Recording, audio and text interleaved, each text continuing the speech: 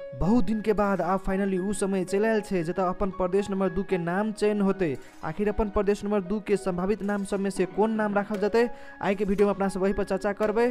तो एगो like button the के चलू वीडियो के शुरू करे हम अमृत कुमार शाह, अहाँ सबके मधेश इंटरटेनमेंट यूट्यूब चैनल में स्वागत करी छी।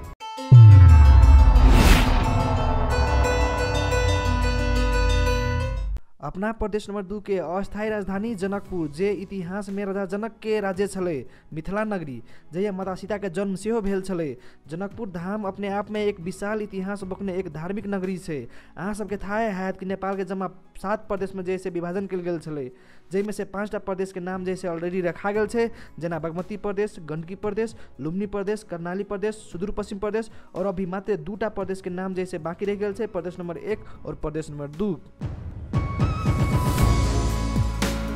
दसों लोकनि प्रदेश सभा के आठों अधिवेशन के पहिलक बैठक में प्रदेश नंबर दू के मुख्यमंत्री मोहम्मद लाल बाबू राउत के अनुसार हमरे ढीला सुस्ती के कारण आई चारि बरस से प्रदेश के नाम और राजधानी नहीं रखा रहल छै से बतौने छै, मगर आब विलम्ब नहीं होते से विश्वास सेहो दिलेने छै। आब देखियो, जल्दिए जैसे अपन प्रदेश नंबर दू के नाम और राजधानी मिलते से हमरा पूरा विश्वास छै।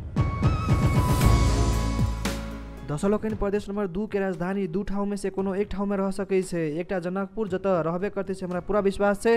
दोसर जतऽ जनकपुरिया वासी सब जे छै कहियो रहल जेतै तेने प्रदेश के नाम सब में से भऽ गेल अहाँके मिथिला प्रदेश मध्य प्रदेश तराई प्रदेश। इहे तीनटा नाम जे छै अभी जोर तोड़ से चलि रहल छै।